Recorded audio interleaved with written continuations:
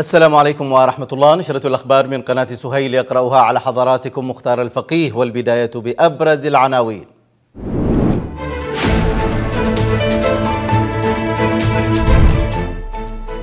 مجلس النواب يؤكد استمرار إيران في تهريب الأسلحة لميليشيا الحوثي ويدعو إلى دعم قوات الشرعية لاستكمال استعادة مؤسسات الدولة.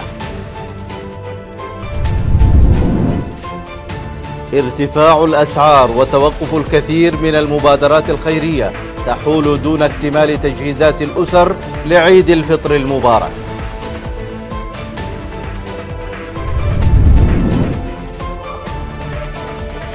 مركز الفتح النموذجي في مأرب يبذل جهودا كبيرة في مجال تحفيظ القرآن الكريم في مخيم الجفينة.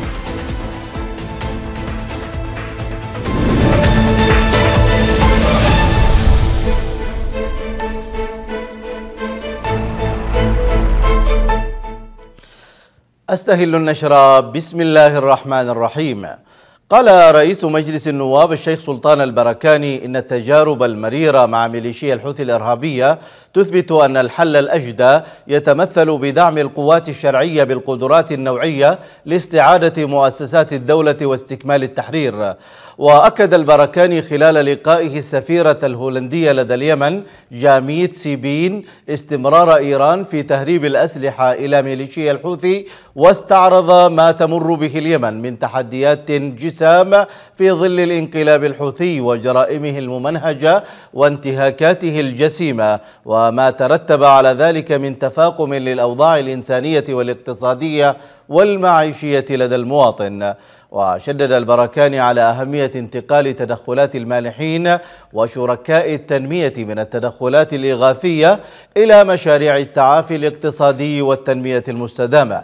من جانبها جددت السفيرة الهولندية وقوف بلادها مع وحدة اليمن ودعمها للحكومة الشرعية وجهودها المبذولة لاستعادة الدولة والاستمرار في دعم البناء المؤسسي لأجهزة الدولة وتحسين الوصول للخدمات الأساسية ودعم عملية تحقيق الاستقرار في اليمن.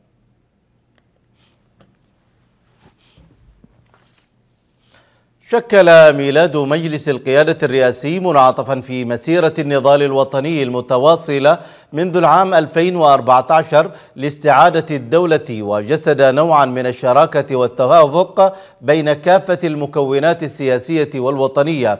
لمواجهة مختلف التحديات وتحقيق تطلعات الشعب في الأمن والاستقرار والتنمية. وعلى الصعيد الميداني حقق العديد من الخطوات وما تزال على طاولته حزمة من الالتزامات الملحة مزيدا من المقاربة في التقرير التالي. بعد عامين من إعلان تشكيله يقف مجلس القيادة الرئاسي في نقطة ما بين طرفين المغالين في إنجازاته والناسفين لها. التقييم المنطقي وفقا لمفهوم المقابلة الأخيرة للرئيس العليمي.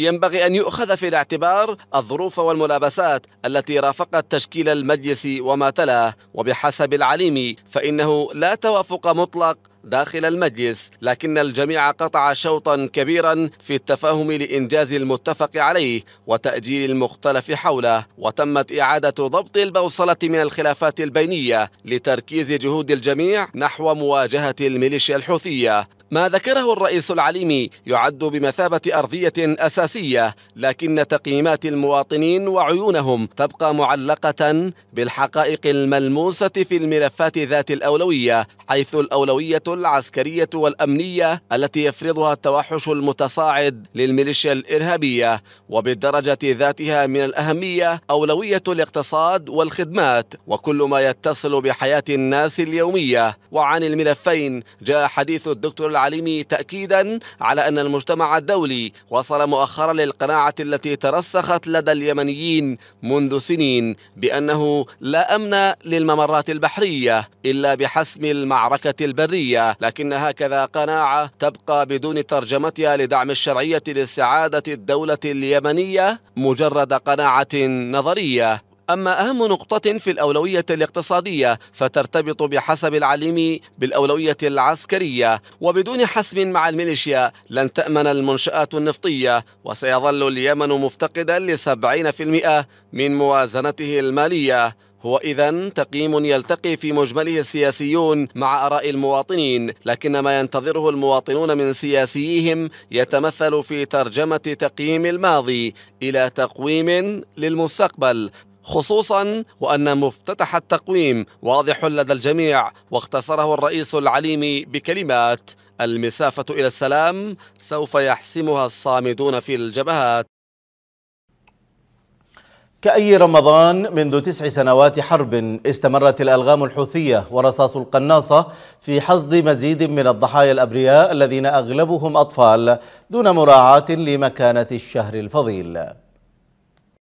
قنص وألغام في رمضان الإرهاب الحوثي لا يصوم عن الجريمة. كأي رمضان منذ تسع سنوات حرب استمرت الألغام الحوثية ورصاص القناصة في حصد مزيد من الضحايا الأبرياء الذين أغلبهم أطفال دون مراعاة لمكانة الشهر الفضيل.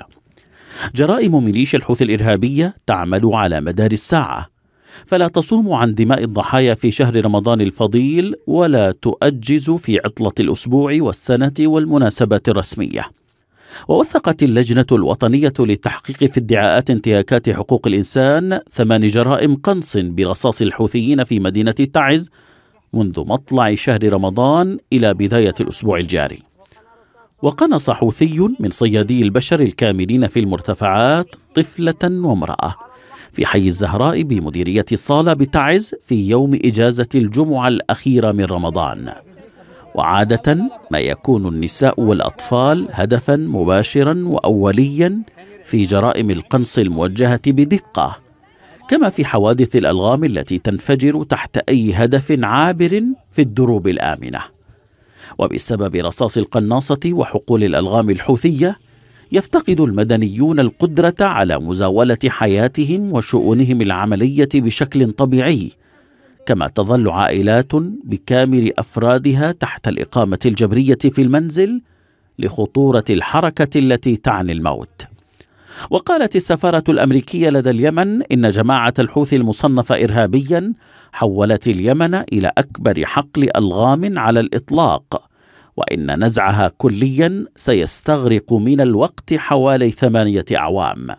ويقضي أطفال نحبهم بالألغام والقنص عين عمد خلال أيام رمضان بالإضافة إلى قصف الحدائق بالصواريخ والطيران المسير أيام الأعياد بهدف محو ملامح الفرح والروحانية عن الحياة اليمنية.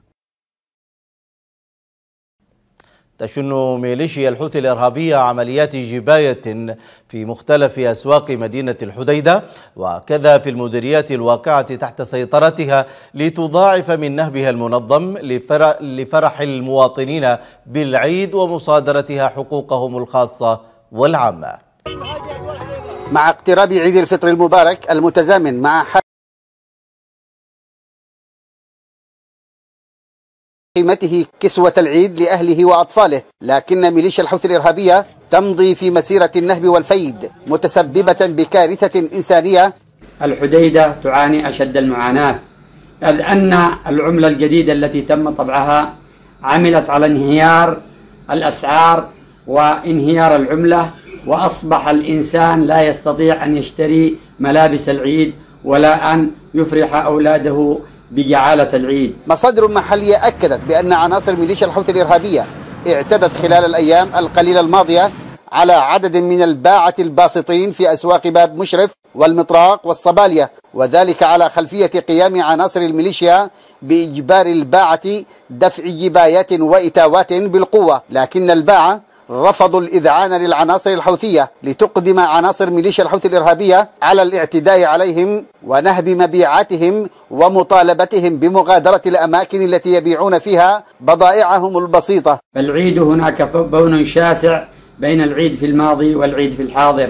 الآن لا عيد في الحديدة في ظل هذه الميليشيات لا فرحة في الحديدة في ظل هذه المعاناة لا سرور في مدينة الحديدة في ظل ما تعانيه من أوضاع اقتصادية يعني ترزح تحتها. تمارس ميليشيا الحوثي الإرهابية بحق اليمنيين شتى أنواع الانتهاكات والنهب للمواطنين في الحديدة وتسرق فرحة العيد من وجوه الصغار والكبار. عبد الحفيظ الحطامي لقناة سهيل الفضائية محافظة الحديدة. قال رئيس مجلس الوزراء الدكتور أحمد عوض بن مبارك إن الرهان كبير على محافظة حضرموت وأبنائها لما تشكله من حضارة وثقافة وبعد اجتماعي ومنطلق أول للتنمية والعمل الوطني. جاء ذلك بعد وصوله إلى مدينة المكلا لتلمس هموم واحتياجات المواطنين وإسناد جهود السلطة المحلية في خدمة المواطنين. وأكد رئيس الوزراء أن زيارته إلى محافظة حضرموت مؤشر على اهتمام الحكومة والقيادة السياسية بهذه المحافظة التي تشكل رافعة وقاطرة للتنمية والاستقرار والمشروع الوطني. وأشاد رئيس الوزراء بما تمثله حضرموت من نموذج للاستقرار وقال إن تدشين زيارته للمحافظات بداية منها تهدف إلى الاقتراب أكثر من قضايا الناس ومشكلاتهم والعمل على إسناد جهود السلطة المحلية للقيام بواجباتها في إطار الدور التكاملي على المستوى المركزي والمحلي للإيفاء بالالتزامات تجاه المواطنين خاصة في تحسين الخدمات الأساسية وتحريك عجلة التنمية.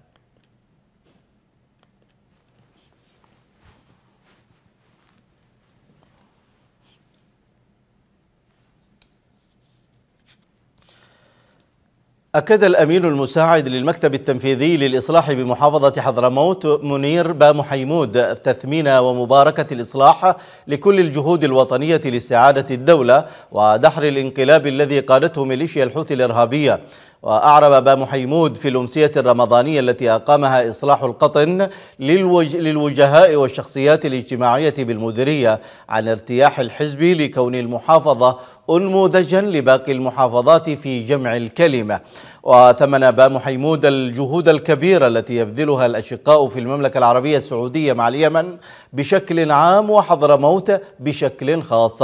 وشدد بام حيمود على تفعيل المجالس المحلية للقيام بدورها الرقابي والمحاسبي ودعا المجتمع إلى مساندة الجهود الرقابية وانتزاع الحقوق بالطرق السلمية عبر الهيئات والنقابات والكيانات التي تمارس التوعية بذلك وتحمل المجتمع عليه. تشهد الأسواق الشعبية في سيئون حركة تجارية نشطة لشراء الحلويات والهدايا مع قرب أيام العيد في سوق الحنظل وسط مدينة سيئون. تتنوع الهدايا العيدية والمكسرات والحن الحضرمي المزيد في سياق التقرير التالي. مع قرب أيام العيد فإن الأسواق الشعبية في حضرموت تشهد اقبالا كبيرا من قبل المواطنين لشراء حاجات العيد. نحن هنا حيث نتواجد في سوق الحنظل بمدينة سيئون. في هذا السوق تتنوع فيه أنواع البضائع المختلفة من حلويات ومكسرات إضافة إلى نوع من أنواع الحنة الحضرمي الذي له رواجا كبيرا وشهرة واسعة في مختلف أنحاء العالم. معنا هنا شيخ السوق الشيخ صالح الصعري. لو تحدثنا الشيخ صالح عن كيف إقبال الناس في هذه الأيام في خلال موسم العيد. بسم الله الرحمن الرحيم والصلاة على أشرف المرسلين سيدنا محمد عليه الصلاة والسلام. آه بالنسبة لإقبال الناس على أو في الأول نقول لكم خواتم مباركة وكل عام وأنتم بخير.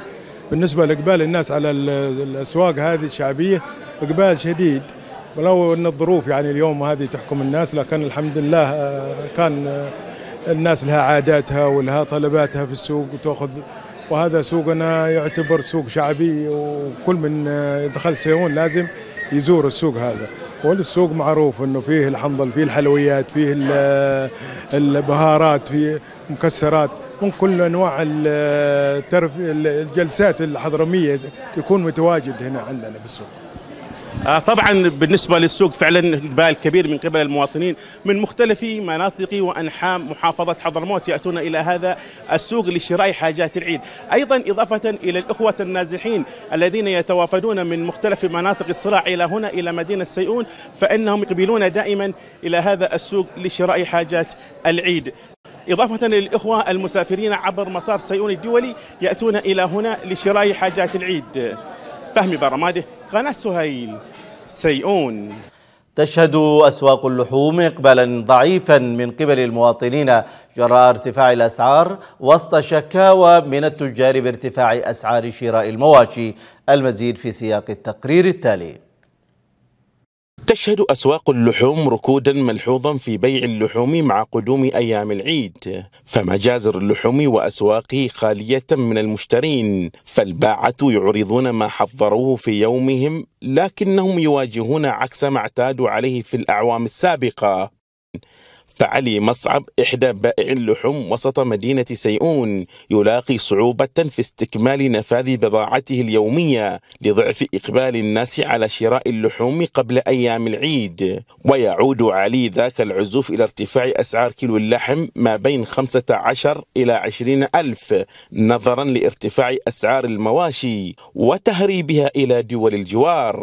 والله إقبال الناس على اللحم القبال ضعيف نسبة ضليلة ضليلة ما تعادل 65% أو 60% لأن الارتفاع الغنم والمواشي والارتفاع ينوني غاية يعني الارتفاع هذا سبب عامل رئيسي في إقبال الناس. الناس بغوا بيشترون لحم للعيد لفرحة العيد لكن الغلاء في جميع الأشياء. لأنه وصل كيلو اللحم يعادل إلى 16000 أو 18000 أو 20000 هذا حاجة يعني ما تدخل العقل. الأسباب هو تهريب الأغنام إلى المناطق المجاورة زي السعودية والإمارات وسلطنة عمان. يعني يجيب عملة صعبة هذا الوارد المحلي طبعا. أما الوارد الصومالي هذا هو الذي أنقذ نحن والفضل يعود لله. يعني لا لو دولة الصومال لو وصل اللحم إلى 30 ألف 40 ألف. ارتفاع أسعار اللحوم دفع الكثير من أرباب الأسر عن التراجع عن شرائها. أو التقليص في كمية اللحم المشترى الذي اعتاد عليه في الأعوام السابقة ما جعل بعض الأسر الكبيرة وذات الدخل المحدود استبدال لحم العيد بغيره من أنواع اللحوم الأخرى كالدواجن والأسماك وغيرها بما يتناسب مع دخل المواطن المحدود. اللحم أصبح الحين في الأسرة الحضرمية من الأشياء المستحيلة. الأشياء التي يعني يلا في في السنة حسن يقول نحن نقول بالحضمي في السنة حسن يعني في السنة مرة. إن شافه في العيد شافه في وجبة واحدة وجبتين والباقي على السمك على الدجاج وحتى الدجاج برضه الآن بدأ الأسعار. الرز طيلع سكر طيلع لحم طيلع خضرة طيلع. الله يعين الموظف راتبه 50000 40000 إيش بتلقي له يا أخي؟ الله يعين العامل شغال ب 3000 كل يوم. إيش بتلقي له مسكين؟ يعني صعب إنهم يعيدون باللحم أكثر من يعيدون بدياي ولا كان يوم ولا حد مصدق أعطاهم الحل من أهله. غيرها ماشي. ارتفاع أسعار اللحوم أصبح هاجسا يورق أرباب الأسر ويشغل تفكيرهم ومنقصا لاستكمال الفرحة والتقاليد العائلية. فالوضع الاقتصادي الذي تمر به البلاد انعكس سلبا على معيشة المواطن بشكل ملحوظ في كل جوانب الحياة. فهمي بارماده قناة سهيل سيئون. تشهد أسواق محافظة لحج ارتفاعا غير مسبوق في أسعار الملابس مع قرب عيد الفطر المبارك الأمر الذي يسهم في تنغيص فرحة العيد عند الكثير من الأسر والأطفال. تفاجأ المواطن حامد محمد بالارتفاع الكبير في أسعار الملابس في أسواق محافظة لحج وبعد مشوار طويل للبحث عن ملابس العيد لأبنائه خرج من السوق دون أي شيء. فالظروف المادية صعبة وارتفاع الأسعار أعاق الكثير من أرباب الأسر عن شراء ملابس العيد. لدي أربعة من الأطفال يعني ما استطعت أنني أكسوهم. الأقل حاجة الطفل الواحد يشتري له 100 ألف ريال. سراويل قرامات قزمات ونحن لا نستطيع. الحالة يرثى لها. وإحنا في ظروف معيشية غير يعني قادرين على العيش عليها. في السابق كان يكسي الطفل الواحد بدلتين ثلاث بدلات. يلبس أول اليوم بدلة وثاني اليوم بدلة وثالث اليوم بدلة واحدة. الآن لن يستطيع حتى أن يكسو ولده أو طفله بدلة واحدة. عدم استقرار سعر صرف العملة والتدهور الحاد في قيمتها إضافة إلى ارتفاع الأسعار الدولية وأسعار النقل وتكاليف الشحن التي زادت أكثر من 300% بسبب التهديدات الإرهابية الحوثية لخطوط الملاحة الدولية.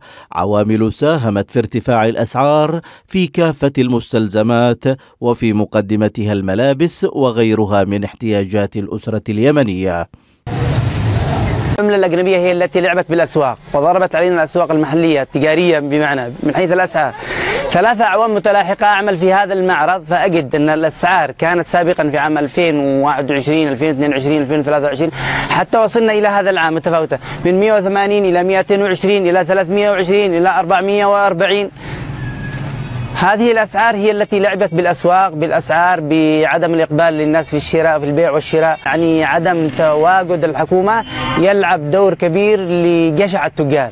بمعنى أن التاجر يصبح يبيع قطعته بالمبلغ الذي يريده. أستطيع أقول بالمواد الغذائية أو بمواد الملابس أو بأي شيء كان. التاجر يبيع ويتحكم بالمواطن بالمبلغ الذي يريده. وهذا يعود على عدم تواجد الدولة والرقابة من قبل الدولة. الأسعار يعني فرق كبير وفرق شاسع ما بين كل سنة وسنة وهذا يعني والأوضاع ما ما تتحملش حقيقة ما تتحملش وكل واحد يحس ويلمس الشيء هذا يعني اللي هو قريب من المواطن. أول مرة الجباية في, النقط الجباية هذه الجباية يعني هي رفعت الأسكر الأسعار 50% والرقابة على المحلات التجارية يعني من الجهات الرسمية غير موجودة. يعني كل واحد يبيع بمزاجه وبكيفه ما حد يقول لك ليش ولا كيف هذا؟ الحكومة مش موجودة. ارتفاع السعر كل يوم السعر العمله يرتفع يرتفع يرتفع. وإذا هبط قليل بكانوا السعر فوق بكانوا السعر ما عاد ينزل كله هكذا هذا. انعدام الرقابة وجشع التجار ساهمت في ارتفاع الأسعار أيضا فيما أسهم تدني المرتبات وفقدانها لقيمتها الشرائية إضافة إلى ركود الأعمال وفرض الجبايات واستمرار إغلاق الطرقات. أسهمت جميعا في زيادة معاناة المواطنين خصوصا في الأعياد والمناسبات والأفراح التي حولتها ميليشيا الحوثي إلى حزن وهم وغم نتيجة استمرار حربها وانقلابها المشؤوم على مؤسسات الدولة. يواجه المواطنون بمحافظة المهرة خاصة النازحين صعوبة كبيرة في توفير المتطلبات العيدية في ظل غلاء الأسعار وغياب الدور الرقابي على الأسواق وسط مطالبات للجهات المعنية للقيام بدورها.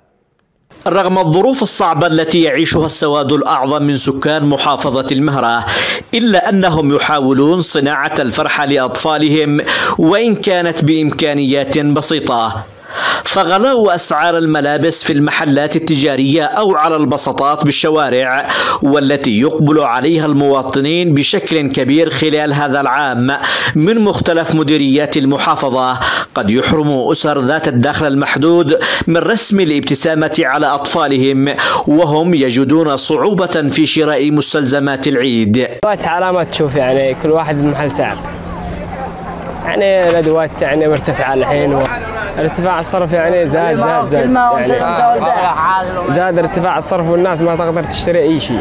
يعني الصرف الحين صار يعني المياه يعني صارت الحين ب 40000 وزايد يعني الناس الحين ما تقدر تشتري. تشتري يعني الا شخص واحد يعني ب... سبحان الله الحين الناس معهم أسرة. تشتري يعني لمن ولمن أو راتب الناس الله يعلم فيها. فغلاء متطلبات الأسر وغياب الدور الرقابي على الأسعار ضاعف من حجم المعاناة وجعل فرحة العيد منقوصة. في محافظة لا تزال تستقبل النازحين الفارين من جحيم الميليشيات الحوثية إلى مناطق آمنة. والله أقبال المواطنين بملابس العيد هو يعني كل واحد على مستوى حاله. يعني في على حالة المواطن يعني. والله في البساطات يعني أسعارها المناسبة. الدكان يصير الدكان تقول له هذا المبلغ هذا يقول لك ب 60000 وهي أقل حاجة بسيطه معاناة تستدعي من السلطات المعنية بالمحافظة القيام بدورها بدلا من ترك المواطن فريسة سهلة لجشع التجار الذين يستغلون العيد لجني الأرباح دون الاكتراث لما يعانيه المواطن من أزمات متلاحقة. أحمد الحرازي لقناة سهيل محافظة المهرة.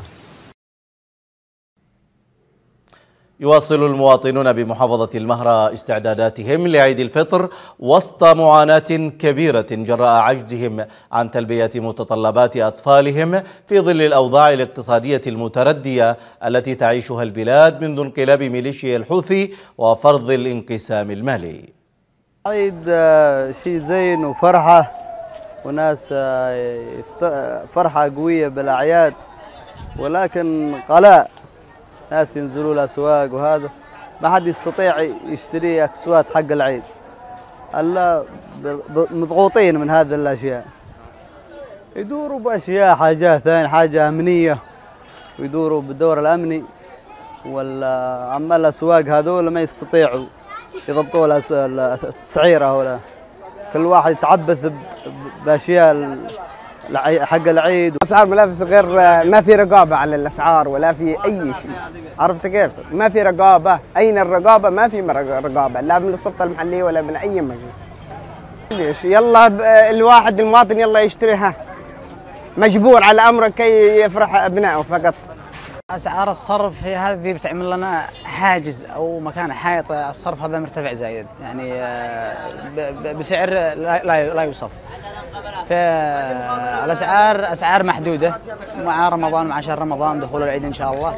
نستقبل ال- الزائر أو المشتري أو الشخص اللي يشتري البضاعة ولا شيء بأرخص العمولات. أو أقبل العيد فيما الحالة الاقتصادية للمواطنين في مدينة تعز تحول دون اكتمال استعدادات الكثير من الأسر لاستقباله بالفرحة الكاملة خصوصا مع توقف الكثير من المبادرات التي كانت تساهم في التخفيف من معاناتهم ومحدودية الدخل لديهم.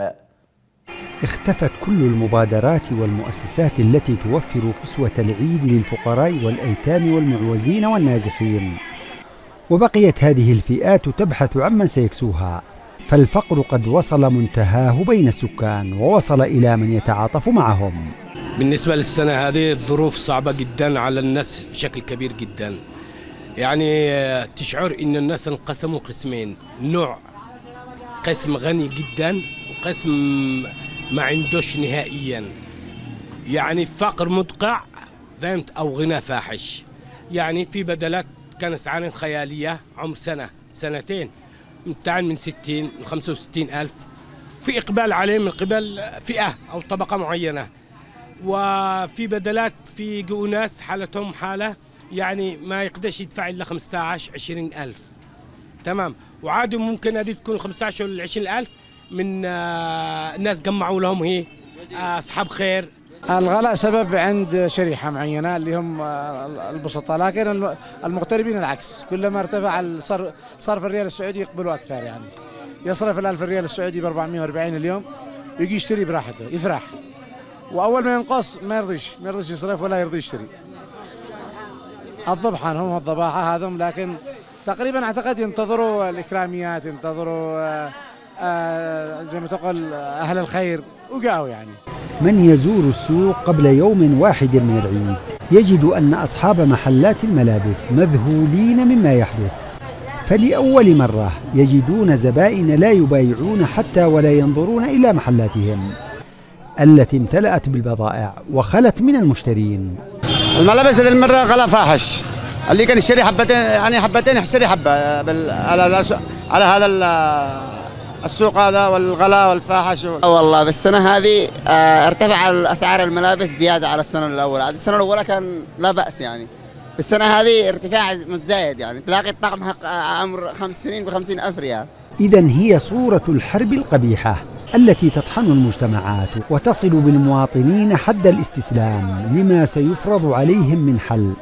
وإذا لم يتنبه مسؤولي البلد للوضع الاقتصادي ولحالة المواطنين فسيدفع الكل ثمنا باهظا لا تتحمله البلد بعد أن صار الفقر هو السائد بالمدينة والريف.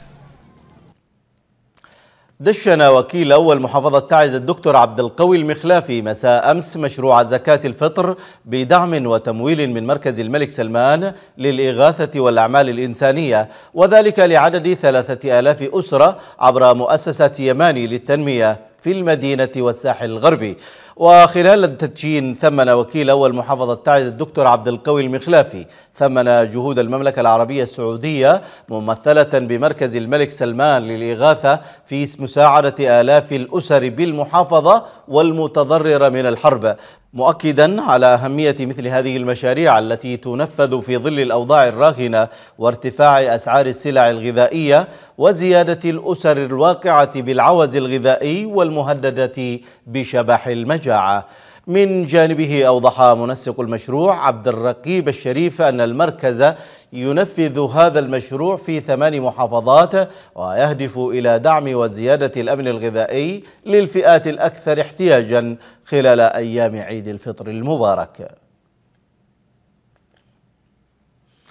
أقام ملتقى أبناء مديرية القفر التنموي الأمسية الرمضانية الأولى في مدينة مأرب التي حضرها عدد من الشخصيات الاجتماعية وجمع من أبناء المديرية ودعت إلى وحدة الصف والوقوف مع الشرعية والجيش الوطني لحسم المعركة مع ميليشيا الكهنوت الحوثي.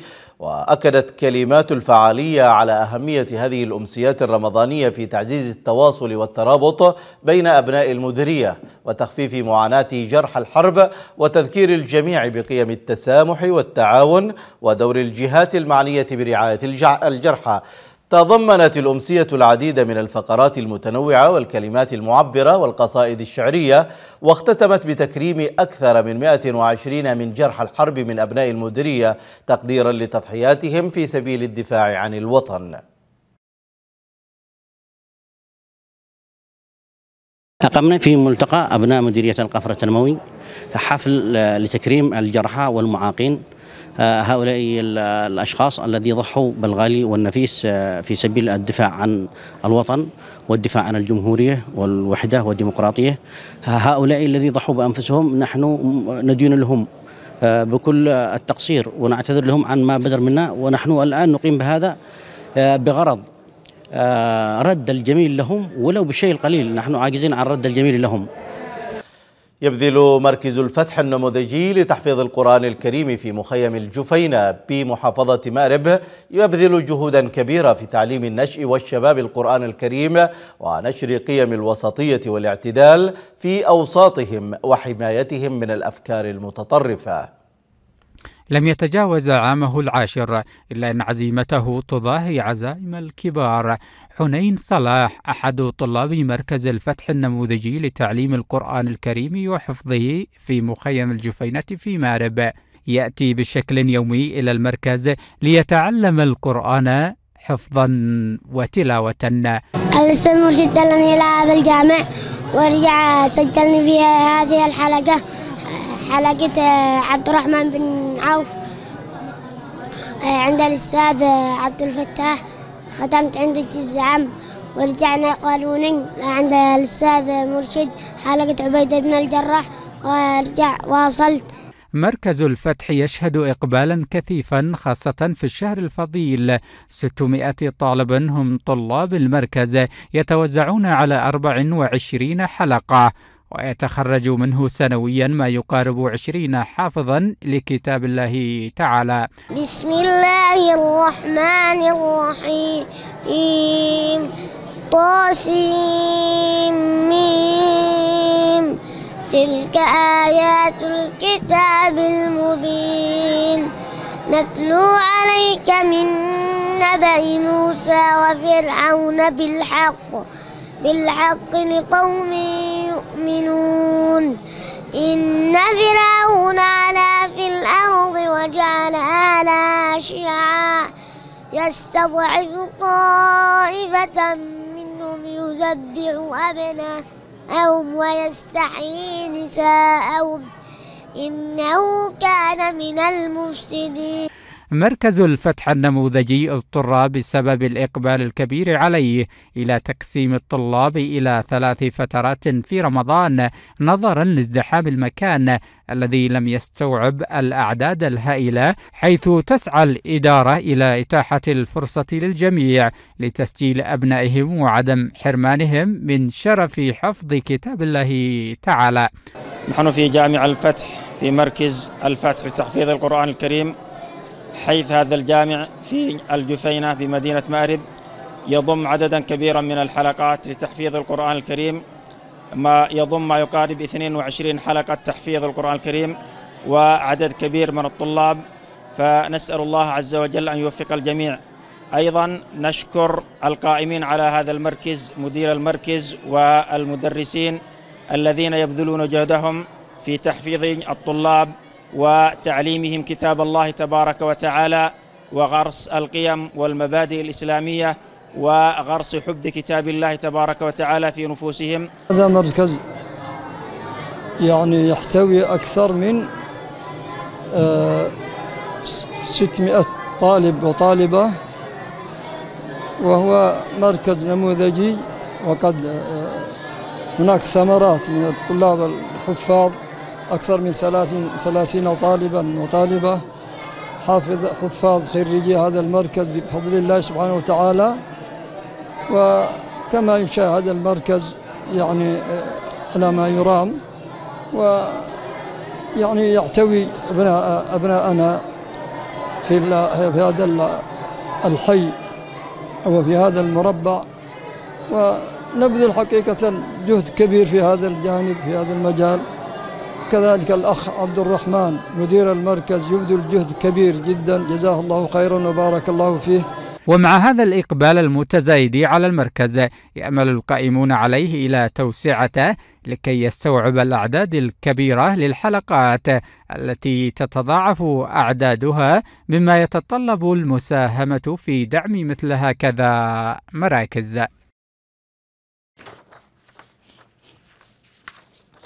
كرم ملتقى أبناء مديرية حبيش التابع لمحافظة إب أسر الشهداء والمعاقين وحفاظ القرآن الكريم في مدينة مأرب. وجاء ذلك في أمسية رمضانية أقامها الملتقى بحضور عدد من القيادات العسكرية والشخصيات الاجتماعية. كما ألقيت عدد من الكلمات والقصائد الشعرية أشادت بتضحيات أبناء المديرية من الشهداء والجرحى والمعاقين الذين وقفوا سدا منيعا أمام جحافل الميليشيا الحوثية في معارك الدفاع عن مارب. وشاركت الكلمات بل أشارت الكلمات إلى أن مديرية حبيش رفضت ظلم الإمامة والاستبداد وأبت إلا أن تسطر أروع ملاحم التضحية والبطولة والفداء كما تم استعراض نضالات أبناء حبيش وتضحياتهم وهي تواجه الميليشيا الحوثية بدءا من حروب صعد الست وصولا لمعركة اليوم في مختلف جبهات الجمهورية. نحن نقيم هذه الأمسية كتقليد سنوي. نكرم فيه أسر الشهداء والمعاقين وحفاظ القرآن الكريم. كتقليد سنوي بدعم سخي من إخوة من تجار ومستثمري مديرية حبيش في محافظة مأرب. هدف هذه الأمسية هو تكريم لأولئك الأبطال الذين ضحوا بدمائهم وأرواحهم فداء لهذا الوطن وتكريما لأولئك الأبطال. اليوم يتم تكريم أسر شهدائهم. وأيضا تكريم المعاقين من أبناء مديرية حبيش ثم أيضا تكريم الكوكبة من الحفاظ لكتاب الله سبحانه وتعالى. فهذا اليوم يعتبر يوم رائع اليوم السابع والعشرين من رمضان. يوم نخلد فيه ذكرى أولئك الأبطال الذين كما ذكرنا جادوا بأرواحهم. مشاهدينا نشرتنا انتهت وهذا تذكير بأبرز ما جاء فيها من عناوين.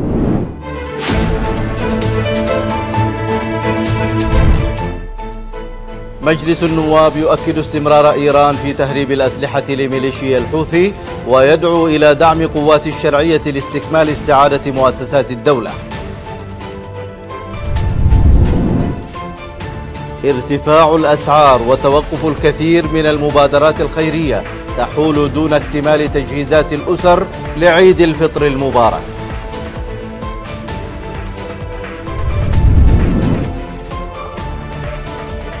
مركز الفتح النموذجي في مأرب يبذل جهودا كبيرة في مجال تحفيظ القرآن الكريم في مخيم الجفينة.